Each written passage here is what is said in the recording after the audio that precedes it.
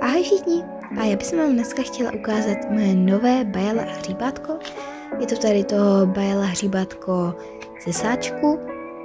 Eh, bylo jich tam hodně, ale já jsem si vzala zrovna tohohle melouna a moc se mi líbí. Doufám, že se líbí i vám. Je to tady, tady vlastně edice jídla nebo ovoce a tak. Tady jsou všechny ostatní, které tam byly ukážu vám, které se mi teda nějak tak líbily nejvíc a mezi kterými jsem se rozhodovala. Takže mezi kokosem, ananasem, mezi tady tím melounem, kterou vlastně mám, a mezi tady tou grapes, nebo prostě hroznou, ale tu tam neměli. Takže mám meloun a jinak u mě se jmenuje Mel, nebo Limely. Tak teď vám ukážu nějaké fotky.